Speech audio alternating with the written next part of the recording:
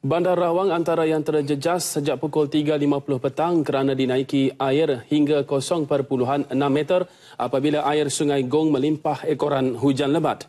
Air sungai melimpah ke jalan B27 menyebabkan inlet sementara kolam takungan banjir yang sedang dibina ditutup bagi mengelak kerosakan pada tiang kabel TNB. Kolam takungan banjir itu tidak dapat dilaksana dengan sempurna ekoran isu setinggan dan penternakan lembu serta ikan di kawasan tersebut. Di Bukit Lagong, Gombak, sekitar Kampung Bahagia, air sungai Cembung yang tidak dapat menampung kapasiti air hujan melimpah. Sekitar Damansara dan Kota Damansara, hujan lebat menyebabkan beberapa jalan utama terutama di kawasan rendah ditenggelami air dan menyebabkan trafik sesak dan terhenti. Malah banyak kenderaan yang terkandas dan tenggelam. Di perumahan Rahmat Jaya, Fasa 4, Gombak, hujan lebat menyebabkan kawasan itu dinaiki air hingga 0.6 meter.